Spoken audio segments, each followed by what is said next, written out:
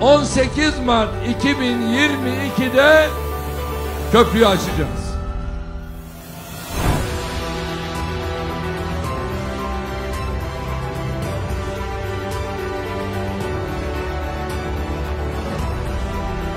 ...1915 Çanakkale Köprüsü'nün çelik kulelerindeki son bloğun yerleştirme töreninin ülkemize ve milletimize hayırlara vesile olmasını Allah'tan diliyorum.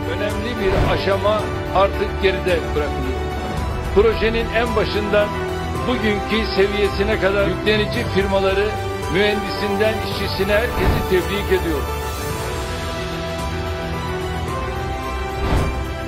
Diyor ki nasıl yaptınız bunu? İşte böyle yaptık.